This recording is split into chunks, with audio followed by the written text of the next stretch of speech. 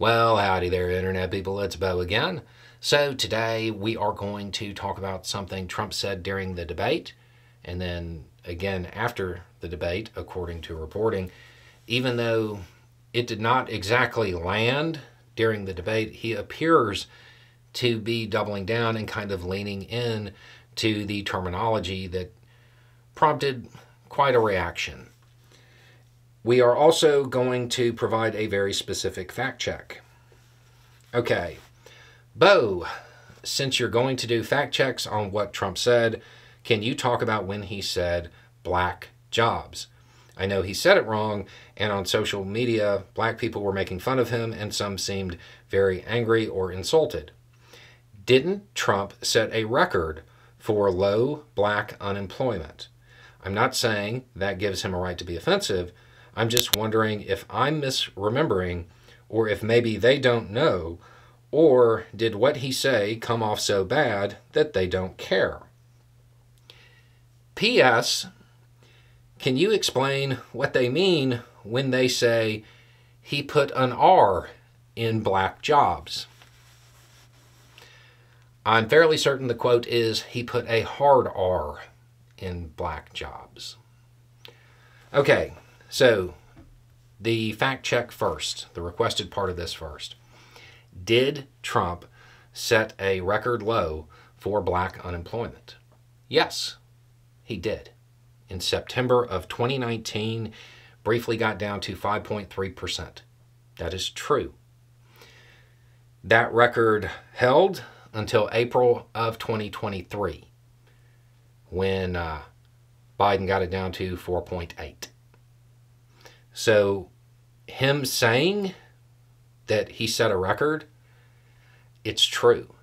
It's true. He just probably doesn't know that it his record got broken. Um, as far as why the reaction that came came, I'm probably not the right person to ask. I can only repeat what I have been told. And that was, it came across as though he was saying that black people could only do certain jobs. And that is not something that uh, sits well with most people. I would like to remind everybody to include the former president that at one point in time, being president of the United States was in fact a black job.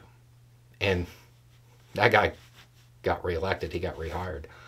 Um, the other explanation I have heard is that I don't want, really want to say it the way it was said to me, but basically, it does not sit well when it is very apparent that a rich white guy is trying to scapegoat a marginalized group by pandering to black people, is basically what was said. Those were the two statements that I got. Um, I, am sure that there are a bunch more. I'm sure that some of them were just roasting him because it's fun.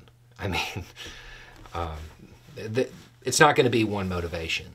I'm sure that some people know about the record. Some people don't. Some people know about it and know it was broken. Some people don't. Some people don't even care.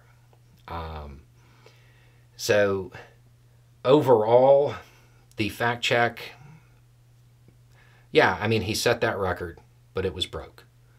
Um, he, he does not currently hold that record. I would also kind of suggest that maybe the former president's policies, as in the president before Trump, some of those policies probably had a lot to do with uh, Trump being able to set the record that he did.